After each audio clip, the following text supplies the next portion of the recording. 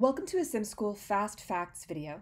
In less than five minutes, we'll tell you everything that you have to know about successfully navigating to content, completing it, creating a report, and ensuring that your instructor or supervisor also sees that you've completed that work. Let's log into SimSchool. When I first log in, I always arrive at my course dashboard. I'll click on the course in which I'd like to work on content, and then navigate to my modules. Now, the first time that I open up a module, I'll always want to scan and see what items are in my timeline. Here I see my overview and instructions, resources, my teaching sims, and observations. When I click on teaching sims, I see how many classes there are for me to teach. Now I know that I have to teach in each class for at least 15 minutes to create a full report, and I have to do that for each class in the module for my instructor to see that it's complete. I can teach each class as long as I want to. I can repeat teach them if I want to. And that could be for less than 15 minutes or more than 15 minutes, but I must teach for at least 15 to get credit for that module.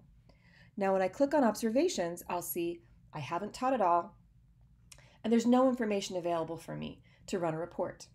Let's look at a module in which there has some work that's been done.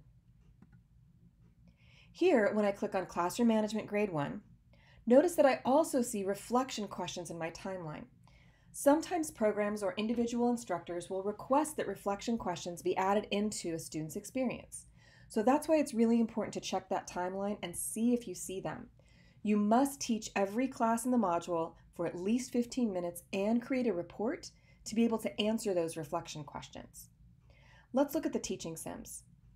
Now I can see here that I've begun one teaching class I've completed all my others and submitted them, so I've taught them for 15 minutes. I can double check that on my observations page and see all the times that I've played and all the minutes that I've taught.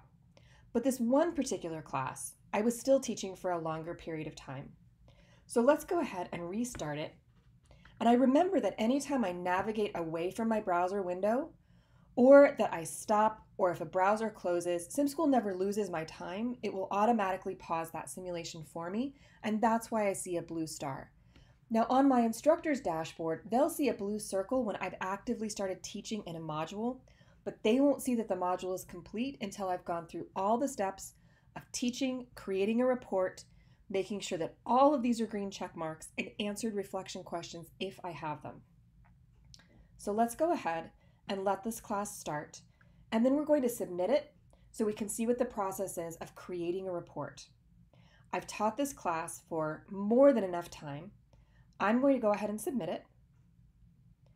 I'm reminded that I'm now locking this sim. I won't be able to play in it again. I've told SimSchool that I've done.